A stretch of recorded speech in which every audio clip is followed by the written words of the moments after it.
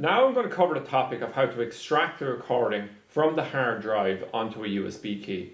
Typical reasons we're doing this is there's something of particular note that we want to, you know, either keep a record of or bring to the attention of the Gardaí, for instance. For instance. So what we're going to do here is I'll just come along and I'll right click. I'm going to click on the menu button here and we can just go directly into data uh, back up here. So we can see here in terms of the start time, it specifies a date and a start time, obviously from midnight onwards and then uh, an end time here, which would be you know up as far because it's still in the recording day here. It's just saying um, up towards the end of the day. Uh, so we can actually specify the times here, and we can enter the data for the times that we want. Okay. What we're going to do here as well, we'll note is that we're extracting the information for all four cameras, right?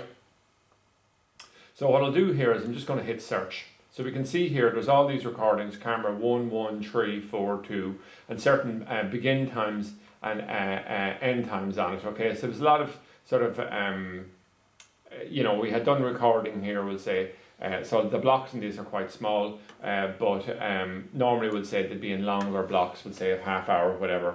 So we can see the, the general extraction time here and, and, and a certain number of minutes, okay?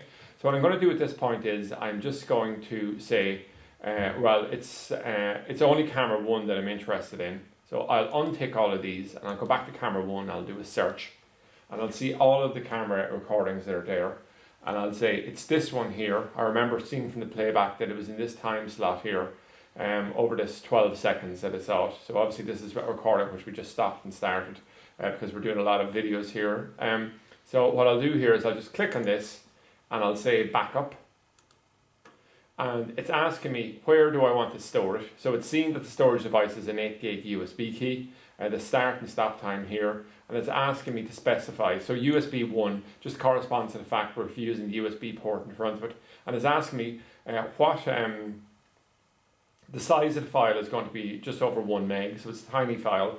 And then what we'll see here is we can save it into uh, different formats, but we'll save it in AVI simply because it's much easier to play back. In terms of a lot of media players can handle it and we can play it back directly on our media player on our PC for instance. And I'll just click start here now and backup is uh, succeed. So if we removed our USB stick here brought this to our PC click play we'll be able to play it back. So that's it